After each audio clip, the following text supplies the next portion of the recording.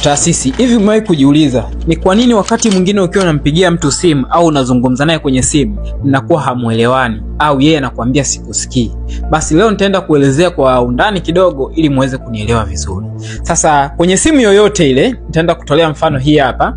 Kwenye simu yoyote ile kuna vitu viwili ambavyo vinafanya muweze kucommunicate. Cha kwanza ni speaker ambayo inakaa juu ya simu yako, lakini cha pili ni mic ambayo inakaa chini ya simu yako. Naomba nieleweke, ni chini ya simu yako. Kwa mfano, mtu anapokuwa amekupigia simu, unaweka simu sikioni, hapa ndio sehemu inapotoka sauti ambayo yeye akizungumza wewe unamsikia, inaitwa spika.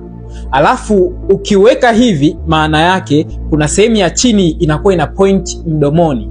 Kwa hiyo inafanya kazi ya kuchukua sauti yako na kumpelekea yule mtu ambaye unazungumza naye, ndio maana imewekwa sehemu ya chini. Sasa watu wengi wanakosea, unakuta mtu anaweka akiwa amsikii mtu, anataka kumwambia hapa juu, yani kusisitiza kuongea kwa sauti ili aweze kumsikia vizuri kwa hapa juu. Sasa hiyo ni makosa, sababu mic ime iko sehemu ya chini. Kwa hiyo kuzungumzia hapa haitakusaidia wewe kuweza kusikika vizuri na, na mtu unayezungumza naye. Kwa cha msingi unaweza ukazungumzia hapa chini. Sasa kama ikitokea bado mtu hawezi kusikia vizuri, maana yake tunaingia kwenye ufundi zaidi, ambapo hapo mtaasisi anahitajika. Lakini inapotokea bado ukizungumza hapa chini hauwezi kusikika vizuri au hausikiki kabisa, kuna mawili. La kwanza, kuna uwezekano sehemu ya maiki ambayo ndio ni matundu hayo nilitoka kuyaeleza hapa juu. Kuna sehemu kwenye iPhone zote, kuna sehemu ya kwanza ambayo ina matundu mengi, alafu kuna sehemu ya pili ambayo ina matundu machache. Idadi ya matundu ni kulingana na model gani ya simu natumia. Sasa hii yenye matundu machache ni sehemu ya mic kwa ajili ya kunasa sauti yako na kuweza kumtumia mtu unaongea naye. Sehemu ya pili ni sehemu ya spika. Pale unapokuwa umeweka loudspeaker, hii sehemu huwa inatoa sauti wakati wa kuweza kuzungumza, lakini pia ni spika kwa ajili ya mziki na vitu kama hivyo.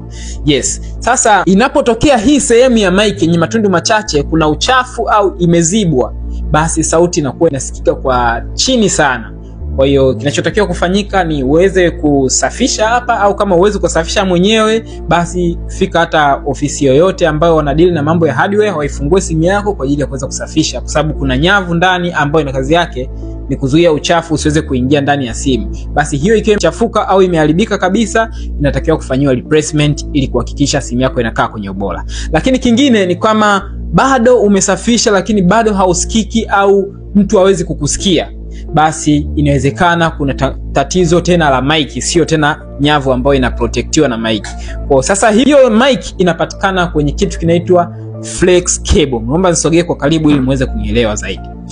Hii kitu ina, inaitwa flex cable ambayo inapatikana kwenye simu zote, na hii ni ya iPhone 11 ambayo hapa chini ni sehemu ya chaji hii nyeupe. Hapa pembeni huku kuna vimaiki viwili ambavyo vina rangi ya goldi.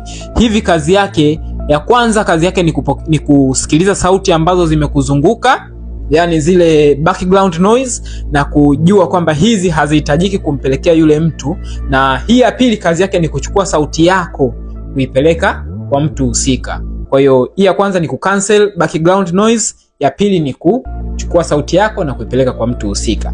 Na pia kuna sehemu ya chaji hapo, kuna sehemu ya vibration na vitu vingine. Sasa ndio maana inakuwa inauzwa ghali kutokana na kwamba inakuwa ina function nyingi na vyote viko kwenye mkanda mmoja. Kwa hiyo kwa mfano kwa, kwenye iPhone 6 zinauzwa elfu thelathini na, na bei zake zinatofautiana kulingana na model ya simu yako.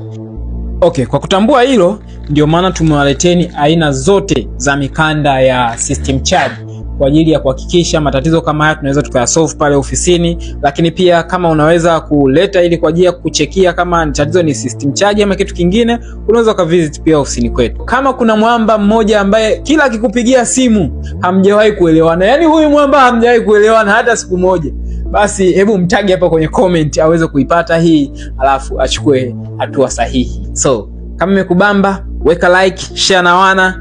Peace out until the next one.